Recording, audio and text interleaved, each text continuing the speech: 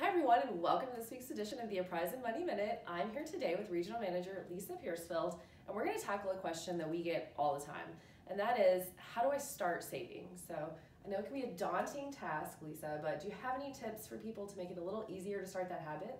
Tasha, I do have a few simple steps.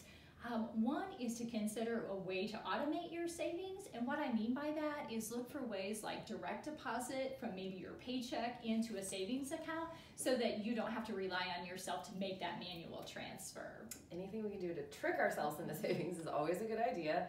Um, it seems like there are a lot of cool apps out there these days. Do you have any that you like or recommend? I do. I have a couple that come to mind. Uh, Qapital and Acorn. Um, they allow you to automate savings and you get to set your own rules. So um, an idea would be or a rule would be I want to round up all of my purchases to the next dollar. So it takes my change and puts it into a savings account. Very cool and kind of small amounts so it gets us right. used to that habit of savings.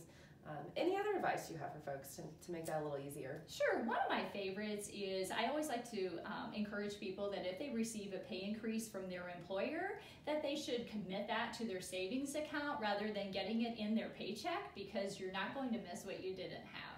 Awesome. Great tips, Lisa. Thank you. Thanks. Thanks for joining us, and we'll see you next week on the Apprisen Money Minute.